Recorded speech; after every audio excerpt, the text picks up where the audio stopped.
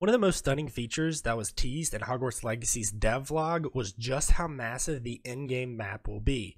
Lots of speculation has come from the community in general as to how much we have yet to see since we've only been provided with about 20 minutes of footage in relation to the game.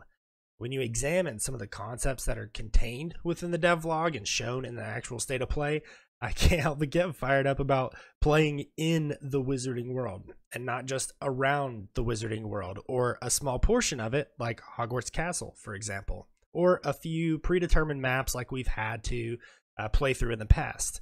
Now, after watching many other videos from content creators about the map, I realized that I had noticed something that no one else had.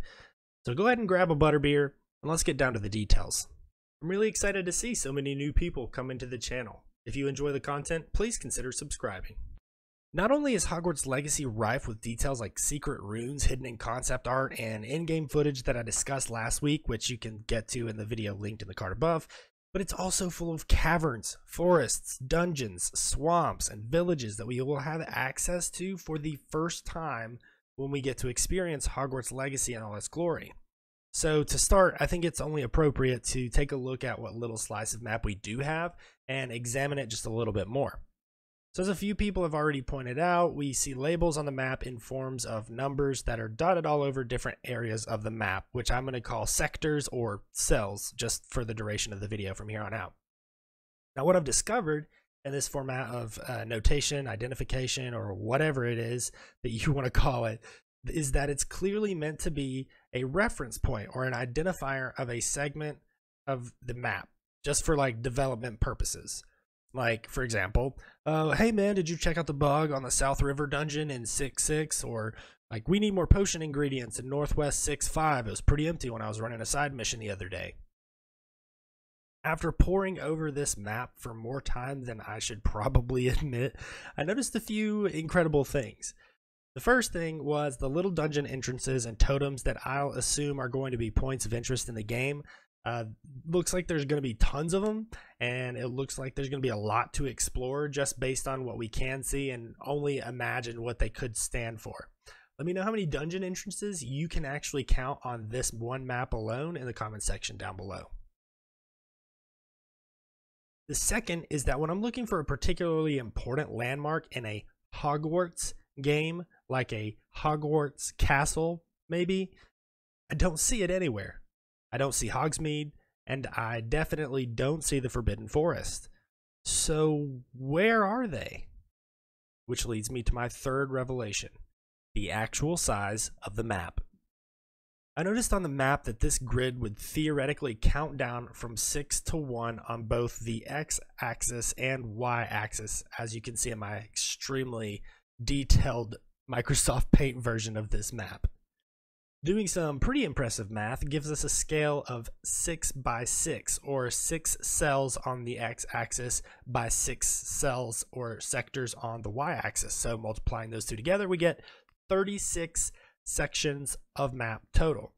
This means that the image that they gave us only represents about 17% of the map present.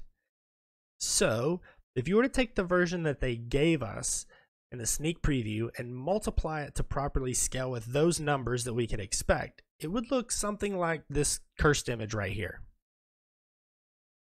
I had to use a 10,000 by 10,000 pixel image in Photoshop to get this to fit all of the parts together. So zooming out looks like absolutely insane, but you get it, okay? It's a huge map. And please forgive me for my awful Photoshop skills. I do need to poke a hole in my own amazing interpretation of this map, of course, because it doesn't account for any verticality or depth, really. I don't think this game world is going to be as two-dimensional as this grid represents, simply because we see a lot of varying terrain in the state of play and teasers that we've gotten so far. There are some bits of the map that could be stacked above or below other segments because we know there will be dungeon crawling, mountain traversing, and flat ground activities like going to classes at Hogwarts. The sheer volume of detail to various forms of terrain will be what makes this map so large. I mean, just think about all the detail of Hogwarts Castle alone, and that's only a small part of the larger game map. Now, I want you to imagine that the other 30 cells of this map are just as detailed and full of adventure and puzzles, bad guys to take down, creatures to tame, and new ancient skills to master. That is a Hogwarts game that I could play for years. And frankly, I expect that's the purpose. I'm also going to pump the brakes just a little bit to set some expectations for a day one release.